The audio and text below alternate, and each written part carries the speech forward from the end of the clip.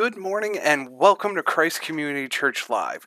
No matter where or when you're watching or wherever I may be recording from, we are still just so excited to have you a part of our service today.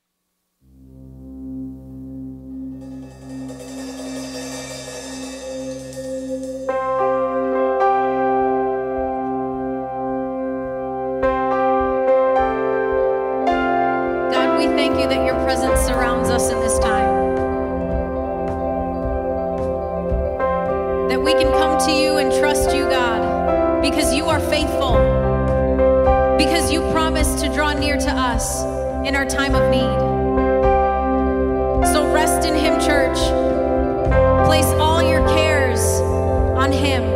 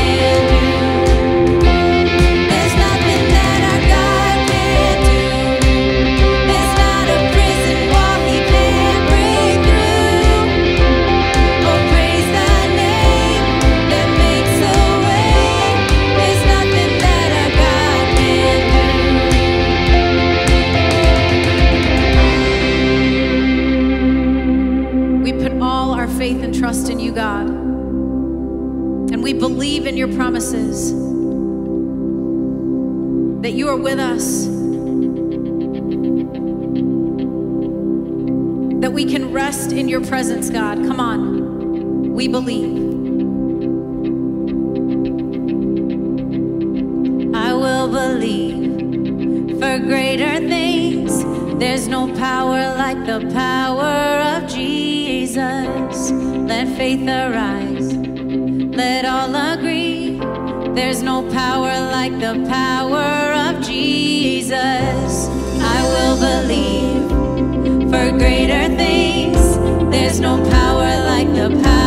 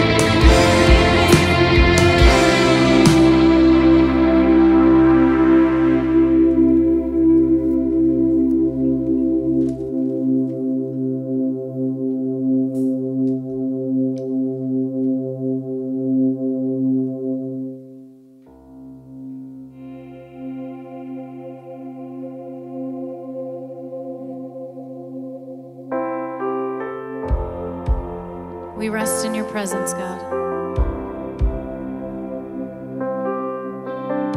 In the truth of who you are.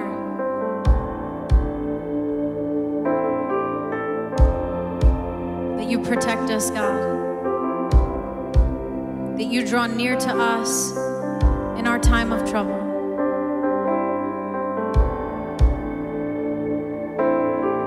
Father, you are so worthy of our praises. We lift our voices and our hearts to you in worship and praise to the only King.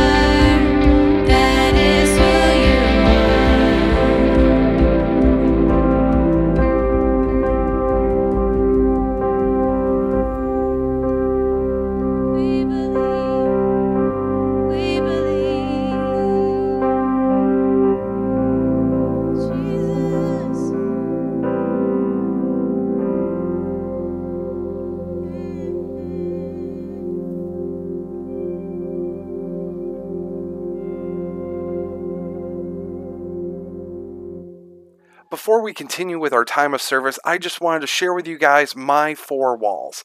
This is the place that I sit every weekend and make sure that we have a video together for our Facebook page and our YouTube channel. But now, as we enter into September, we're going to move beyond our four walls and start our outdoor services. To speak more of that, I'm going to switch this over to Josh so he can tell you about the exciting things going on at Christ Community Church. Hey, good morning, Christ Community Church. Hope that you've had a great week and that your Sunday is off to a fantastic start. Uh, we've been busy this week getting settled in our new house, kind of keeping our distance. Uh, but so many of you guys have reached out, left off meals, and found other ways to reach out and to help us get settled in. And we are so grateful for the way that you guys have welcomed us. I personally am really excited to begin our outdoor worship gatherings together next Sunday, 10 a.m. Uh, Lord willing, we will be gathering to worship outside at our church property, 219 Berry Road, and we're going to be doing that every Sunday in September. I can't wait to actually be able to worship with you guys for the first time in person. And so I just want to share a few details about what that's going to look like for us. Uh, we're going to, be, gathering, as I said, on the lawn at our church property. So feel free to bring lawn chairs, blankets, uh, whatever you want to sit on. We will not have a separate Square One class for kids, but we will have activity bags for them to do during the service as you worship together as a family. And I promise uh, I will do my best not to get too long winded in my messages to make it easier for families, especially with young kids. Uh, we are going to be observing the social distancing guidelines that the state has laid out for us. So we ask that you would please wear a mask, that you would try to keep some distance between yourself, and especially as we're worshiping together, that we would keep some distance between family groups. Uh, We're not going to be coming around with a tape measure or anything like that. But thankfully, uh, God's blessed us with plenty of room at our property. We've got room to spread out. So let's try to do that as we worship together. And of course, if you're feeling sick, please stay home and worship with us online. We know that some of you aren't going to be able to make it for various reasons, and so we will continue posting a service to Facebook Live every week at 10 a.m. It'll be the same sermon that I'm preaching in person, so there's going to be an option to worship online if you can't join us in person. Uh, that also means that if it's raining, we're going to be canceling our in person gatherings and simply worshiping together online. You can watch our Facebook page for all of that cancellation information. If we do need to cancel an in person gathering because of the weather, we're going to post that on our Facebook page no later than 9 a.m. So I really hope that you can join us next week. Uh, if you have any questions, feel free to shoot me an email, josh s at christcommunityfredonia.com. Uh, but I can't wait to see you next week. Today, we're going to be continuing our series through the book of Philippians. Now, as a reminder, the book of Philippians is a letter that the Apostle Paul wrote to the church that he started in Philippi. And Paul is in prison when he writes this letter. And he writes to the Philippians to remind them of the hope that they have in the unstoppable gospel of Jesus, no matter what they're facing. And today, Paul shows us how we can have unstoppable joy. How the gospel creates in us the kind of joy that can't be derailed, that can't be crushed by any set of circumstances that we're walking through. We're going to be in Philippians chapter 1, verses 12 through 26 today. So let's look at that. Philippians 1, starting at verse 12. Here's what the Apostle Paul writes. He says, I want you to know, brothers, that what has happened to me has really served to advance the gospel, so that it has become known throughout the whole imperial guard and to all the rest that my imprisonment is for Christ. And most of the brothers, having become confident in the Lord by my imprisonment, are much more bold to speak the word without fear. Some, indeed, preach Christ from rivalry and envy, but others from goodwill. The latter do it out of love, knowing that I am put here for the defense of the gospel. The former proclaim Christ out of selfish ambition, not sincerely, but thinking to afflict me in my imprisonment. What then? Only that in every way, whether in pretense or in truth, Christ is proclaimed. And in that I rejoice.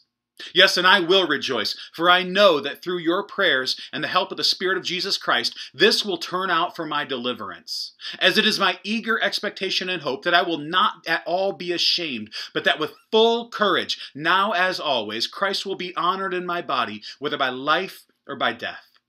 For to me to live is Christ and to die is gain. If I'm to live in the flesh, that means fruitful labor for me. Yet, which I shall choose, I cannot tell. I am hard pressed between the two. My desire is to depart and be with Christ, for that is far better, but to remain in the flesh is more necessary on your account. Convinced of this, I know that I will remain and continue with you all for your progress and joy in the faith, so that in me you may have ample cause to glory in Christ Jesus because of my coming to you again. Now, here's what I love about the Bible. The Bible is a very real book. You can see it in this passage. The Bible is not some lofty, otherworldly religious book. The Bible was written by real people, to real people, suffering real hardships in the midst of real life. Friend, wherever you find yourself today, God's Word meets you there. If things are going well for you, God's Word meets you there. If things are going badly for you, God's Word meets you there. God's Word meets us in the valley, and God's Word meets us on the mountaintop. Wherever you are, God's word has the power to fill you with unstoppable joy in the midst of whatever it is that you're facing. Paul's writing this from prison, but the chains that bound Paul could not restrain his joy. Now, let me ask you don't you want that kind of joy? Don't you hunger for a joy that can't be stopped? So, how do you get that kind of joy? How do you get the kind of joy that can endure prison and persecution and sickness and sorrow and everything that life and death can throw at you? Well, that's what we're going to see in this passage today. We're going to see three things that we need to do if we want that kind of joy. Three things for how to have unstoppable joy. And here they are. One, live for something bigger than yourself. Two, trust in someone bigger than yourself. And three, love someone who is better than anything else. Live for something bigger than yourself, trust in someone bigger than yourself, and love someone who's better than anything else. First, live for something big, bigger than yourself. Verse 12. I want you to know, brothers, that what has happened to me has really served to advance the gospel, so that it has become known throughout the whole imperial guard and to all the rest that my imprisonment is for Christ. See, Paul had experienced the gospel. His life had been turned upside down by Jesus, and now his life goal is to make it known. He lived for something bigger than himself. He lived for something bigger than his own freedom. He lived for something bigger than his own life. Paul lived to proclaim the gospel of Jesus that had turned his life upside down. And even from prison, he saw how God was using his imprisonment to advance the gospel. Listen, friends, if you want enduring joy, don't live for your own comfort. Don't live for yourself. Don't live for your own freedom. Don't even live for your own life. Live for something bigger than yourself. Paul says, What's happened to me has actually served to advance the gospel. I've gained access to places I otherwise never would have gained access. I've had the chance to preach to people who otherwise never would have heard about Jesus. Those guards that were assigned to keep Paul in prison thought that they were restraining him. They thought that they were stopping him from preaching the gospel. But the gospel can't be restrained. The gospel can't be stopped. The gospel can't be chained up or imprisoned or quarantined for that matter. Those chains didn't stop the gospel. Those chains were God's way of unleashing the gospel. Paul looked at that prison guard, and in his mind, he said, You know, you think that, you, that I'm stuck in here with you, but the truth is that you're stuck in here with me. You think I'm your captive, but the fact is that because of these chains, now I've got a captive audience to preach the gospel to. And Paul begins preaching the gospel to these imperial guards, and the gospel begins to spread like wildfire throughout their ranks. Paul lived for the advancement of the gospel, and the gospel is unstoppable, and that means that Paul's joy is unstoppable. Friends, if you want unstoppable joy, then you need an unstoppable gospel. Only an unstoppable gospel can give you unstoppable joy. The, the word gospel literally means good news. And we all live for some kind of good news. We all build our lives on some message of hope. For some of us, it's the gospel of money. For some of us, it's the gospel of politics. For some of us, it's the gospel of family. For some of us, it's the gospel of sex and drugs and rock and roll.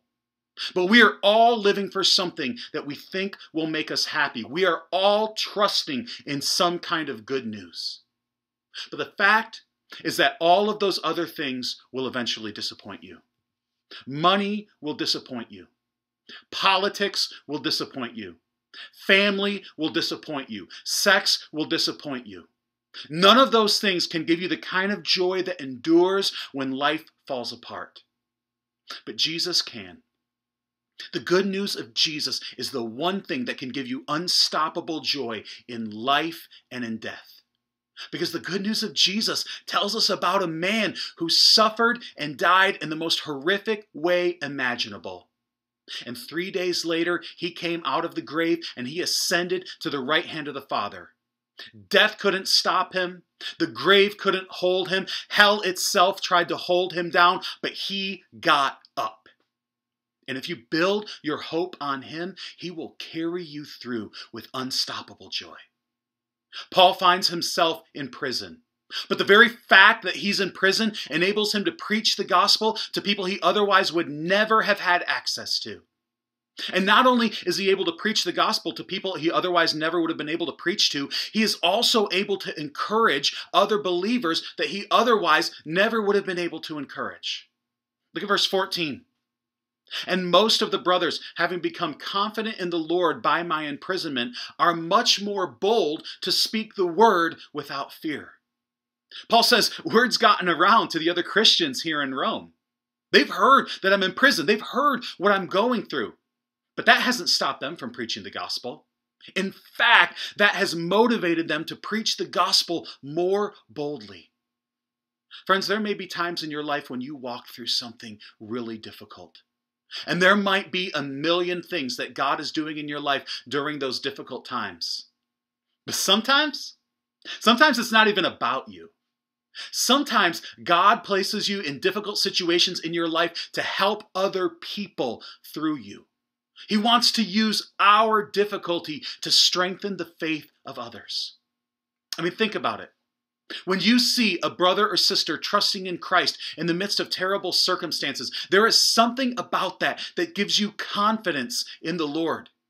You start to realize that the gospel is not merely a matter of talk. The gospel is a life changing power. This is one of the reasons I love reading Christian biographies. This is why I encourage you to read biographies of great Christians of the past. Because these people weren't perfect, they had faults and flaws and failures and sins. But when you see how God came through for them, when you see how they trusted Him in life and in death, it helps to bolster your faith for whatever you're walking through. As Paul was trusting Jesus in prison, his brothers and sisters saw his example and they were set free to boldly preach the gospel of Christ. Paul's chains didn't stop the gospel, they unleashed the gospel. And here's what's so cool about Paul's passion for the gospel Paul's passion for the gospel utterly set him free from his own ego. Look at verse 15. Some indeed preach Christ from rivalry and envy, but others from goodwill. The latter do it out of love, knowing that I am put here for the defense of the gospel. The former proclaim Christ out of selfish ambition, not sincerely, but thinking to afflict me in my imprisonment. What then? Only that in every way, whether in pretense or in truth, Christ is proclaimed. And in that I rejoice. Paul says some people are trying to make trouble for me. Some people out there around Rome think that if they preach the gospel, the authorities will take it out on me. They'll crack down on me. But that doesn't bother me because they are doing exactly what I hope they will do. They are preaching Christ. And to me, that is all that matters. Friends, do you see how the gospel sets you free from your own ego? Let me just confess something to you. As a pastor, one of my great temptations is to be jealous of other pastors. And if I'm not careful, I can constantly get into this internal competition with other pastors and other churches. I'm always comparing myself to them. How many people did they have on Sunday? How was their last sermon? Could I have preached it better? And sometimes there can even be this competition among churches where we start to question each other's motives.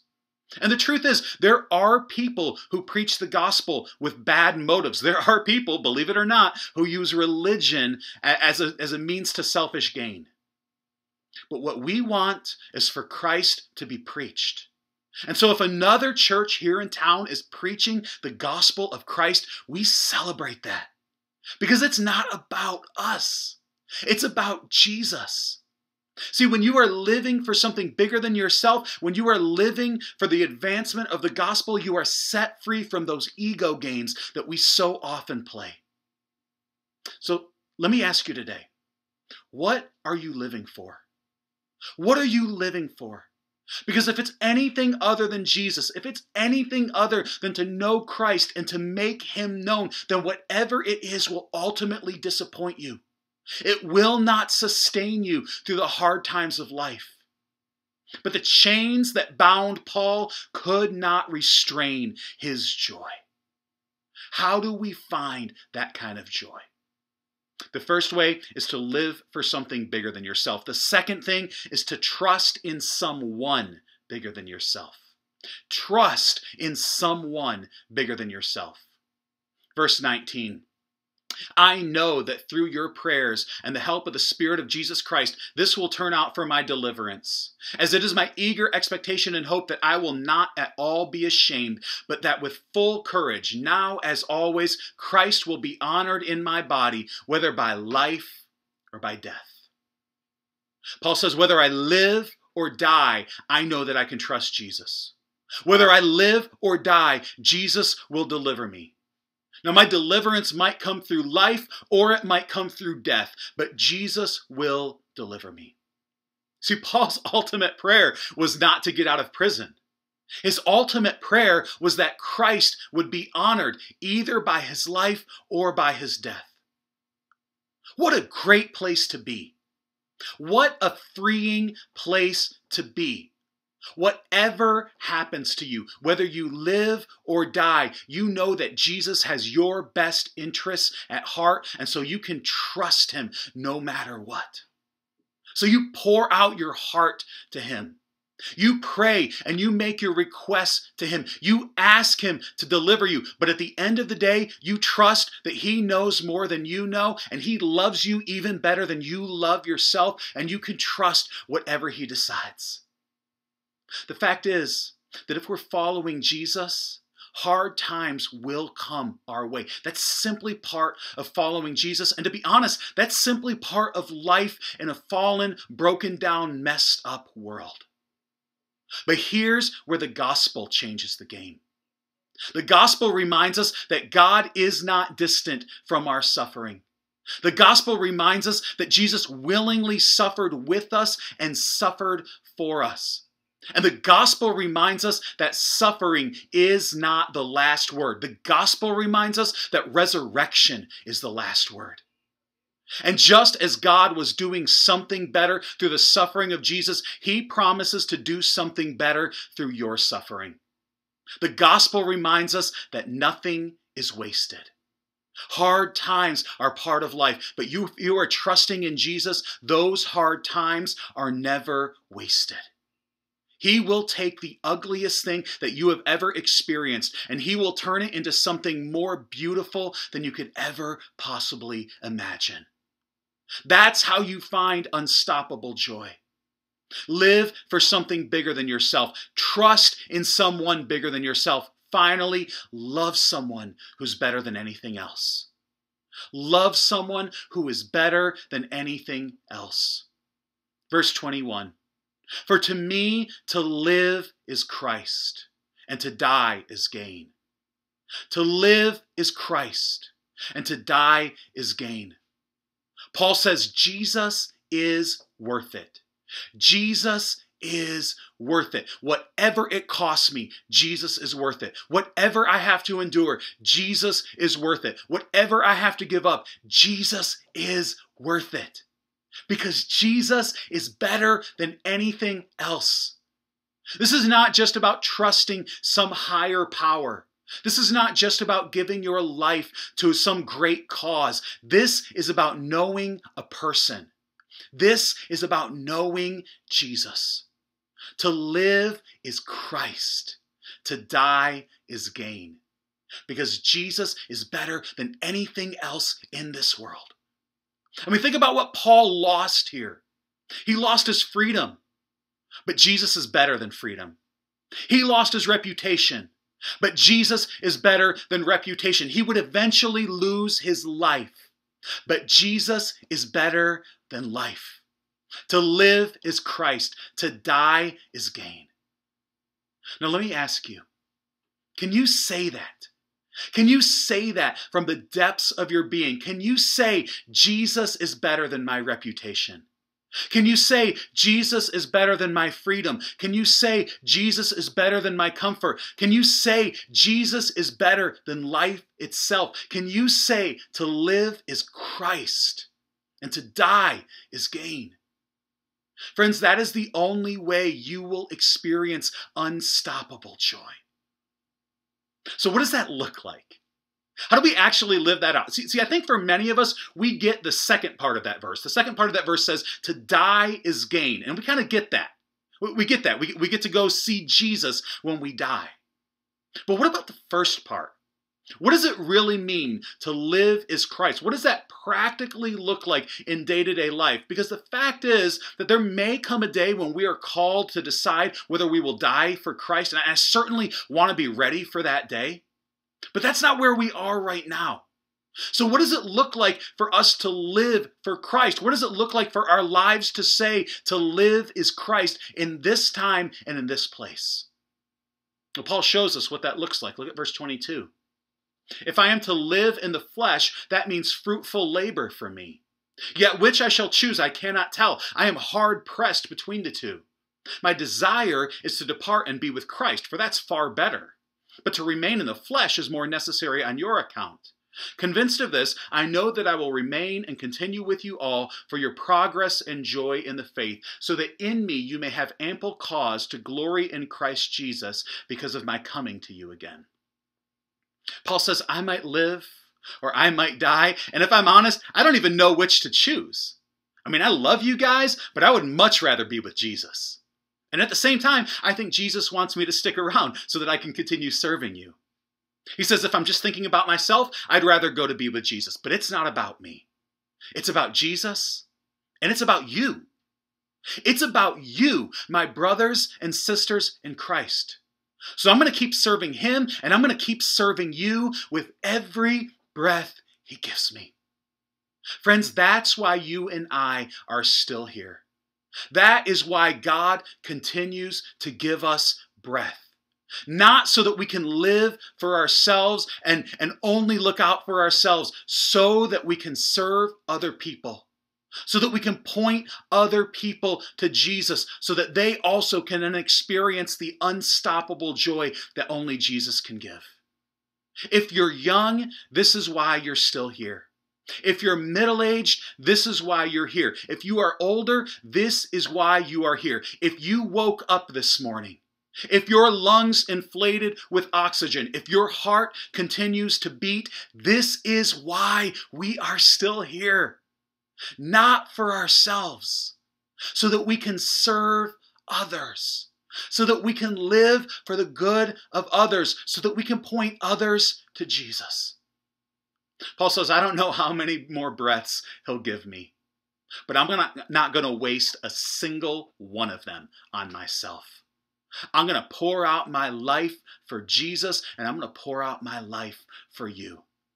I don't know how much longer I've got, but one thing I know. One thing I can take to the bank, my only comfort in life and death is that whether I live or die, I get Jesus. To live is Christ, and to die is gain. Now, can you say that today?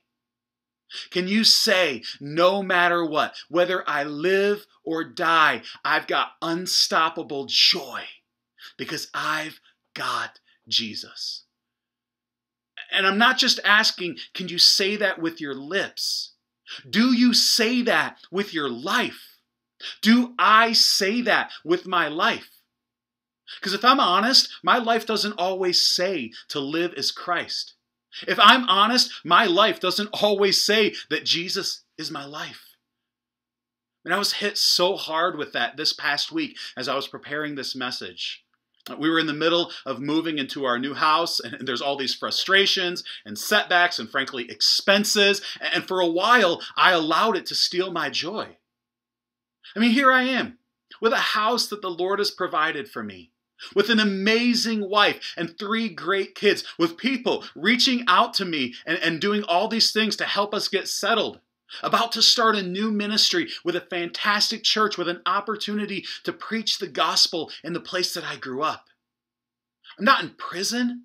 I haven't been arrested or beaten for preaching the gospel. I'm not asking whether I'm going to die tomorrow. I've got it really good.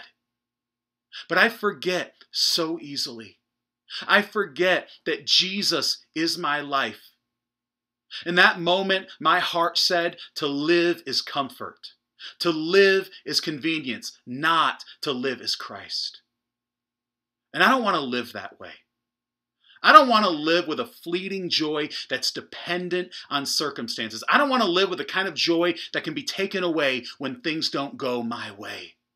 I want the kind of unstoppable joy that only comes when Jesus is my life. But here's the beauty of the gospel. Here's the hope of the gospel for people like me. The gospel is not about us. The gospel is not about how we nail it. The gospel, friends, is not about how committed you are to Jesus. The gospel is about how committed Jesus is to you. The gospel is not about looking to yourself. The gospel, the writer of Hebrews tells us, is about looking to Jesus, the founder and perfecter of our faith, who for the joy, for the joy set before him, endured the cross, despising the shame, and is seated at the right hand of the throne of God. Jesus died and rose again to make us right with God, and He promises to complete the good work that He began in us. And so maybe you're like me today. Maybe sometimes your life doesn't always say to live as Christ. The good news is that Jesus isn't giving up on you, and He's not giving up on me. He invites us to come to Him, to confess to Him, to be honest with Him about that. God, I have loved other things in your place. God, I have lived as if money is my life. I have lived as if my family is my life. I have lived as if my own comfort and convenience is my life. I have lived as if sin is my life. And I'm tired of it. I'm tired of it. Please forgive me. Please cleanse me. Please help me to find my joy and my life in you. Please give me the kind of unstoppable joy that can only come when Jesus is my life. That's my prayer for you. That's my prayer for myself. That's my prayer for the people of Chautauqua County and Western New York. That we would be filled with the kind of unstoppable joy that is only possible when Christ is our life. Let's pray.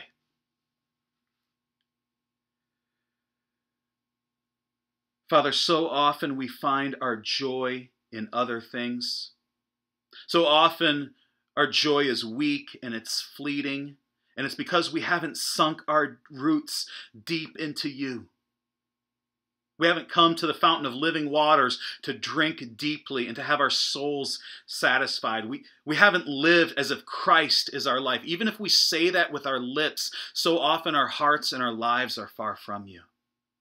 And so I pray that, that you would fill us with the kind of unstoppable joy that only happens when Christ is our life. I pray that for my brothers and sisters at Christ Community Church. I pray that for others who might be listening to this today. I pray that for people all over Chautauqua County and all over Western New York, that, that you would fill us with the kind of joy that's only possible when we can honestly say to live as Christ and to die as gain. Thank you, Jesus, that you went to the cross because of the joy set before you that you endured the cross, despising the shame, that you will finish the work that you began in us. I pray it in Christ's name. Amen. Hey guys, thanks so much for worshiping with us this morning. I absolutely cannot wait to see you guys next Sunday, 10 a.m. in person. Uh, until then, peace be with you and have a great week. Thank you for being a part of our service today. For updates on information or a chance for online giving, you can visit our website at christcommunityfredonia.com. Also, stay tuned to our Facebook page to find out all the exciting details about our outdoor services starting next week, 10 a.m. at 219 Berry Road. We're excited to see you again. Thank you and have a great week.